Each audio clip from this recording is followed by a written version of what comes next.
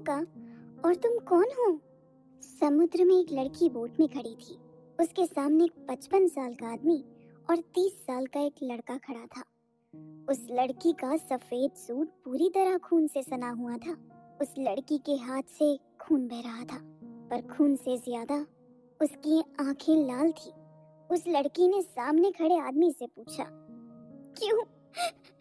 क्यों? क्यों, संजय अंकल? आप मुझे क्यों मार रहे हो? मैं तो आपकी बेटी जैसी हूँ ना। तो तो आप मुझे क्यों मार रहे हो? और प्रशांत, तुम तो मुझसे, तुम तो मुझसे प्यार करते हो ना?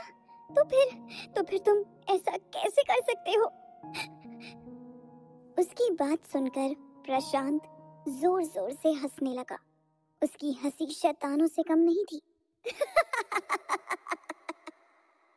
संजय ने कहा आकांक्षा कितनी भोली हो तुम? मैंने कहा, और तुमने मान लिया कि मैं तुमसे प्यार करता हूँ? नो बेबी नो मुझे तुम्हारी उस दौलत से, उस महल जैसे घर और सबसे ज़्यादा तुम्हारे बिज़नेस से प्यार है, जो अब मेरा है। और अब जब मेरा सच्चा प्यार मेरे पास है तो मैं तुमसे प्यार का नाटक क्यों करूँ?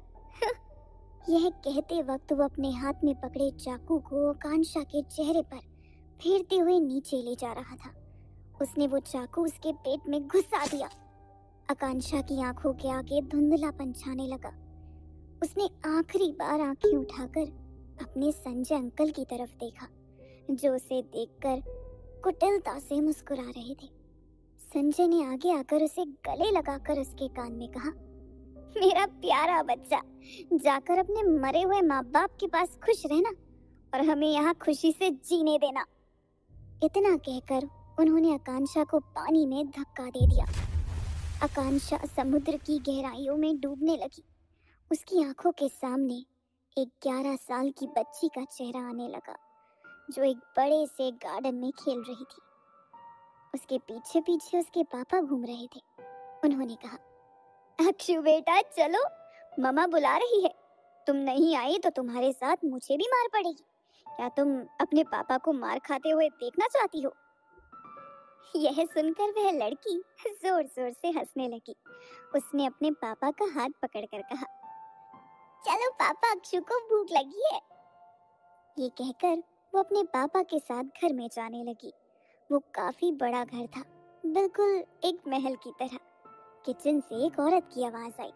औरत ने कहा, आ गए आप दोनों, जल्दी आइए। नाश्ता कर लीजिए, नहीं तो ठंडा हो जाएगा। वो तीनों साथ बैठकर नाश्ता करने लगे। वो सभी काफ़ी खुश थे। तीन लोगों का यह छोटा परिवार एक दूसरे के लिए काफ़ी था। लेकिन फिर उनके परिवार में संजय अरोरा नाम का शख्स आया, जो वीना जी और महेश जी का कॉलेज फ्रेंड था। और उसके बिज़नेस में कुछ परेशानी हो रही थी, और जिसके कारण वो महेश जी की मदद मांगने आया था।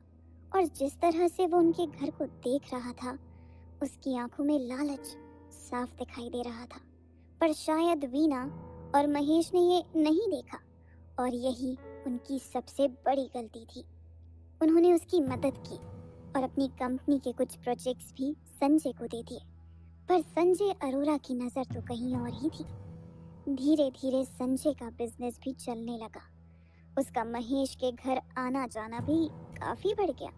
और वह उसकी कंपनी में भी काफ़ी आया जाया करता था। महेश राठी राठी कॉरपोरेशन के मालिक थे। उनकी कंपनी देश में काफ़ी बड़े लेवल पर काम किया करती थी। उनकी कंपनी अलग अलग तरह के बिज़नेस भी करती थी और उस पर संजय की बुरी नज़र पड़ चुकी थी। उसने धीरे धीरे अपने लोगों को राठी कॉरपोरेशन में प्लान करना शुरू कर दिया था, जो उसे वहाँ हो रहे हर काम की खबर देते थे।